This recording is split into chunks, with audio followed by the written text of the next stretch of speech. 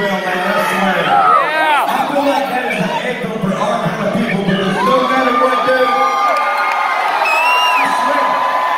When I go to Mud Parks, my buddy Toads, and I go to all these fucking places, I swear, dude, if my shit breaks down, I just like rub my fucking can like a fucking genie let go. He's like, no, we need.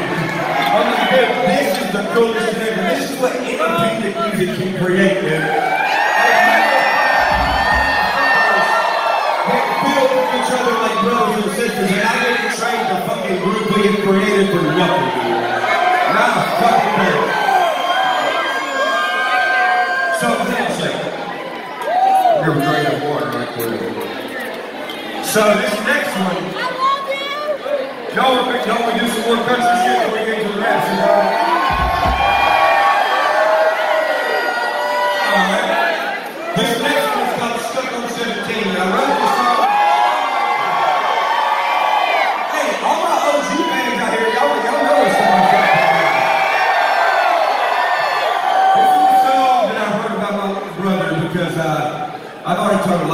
this. It's, it's hard being the biggest brother watching these little motherfuckers grow up because they're always into some crazy shit. But what I realize is I can't tell them shit because I know the same shit. So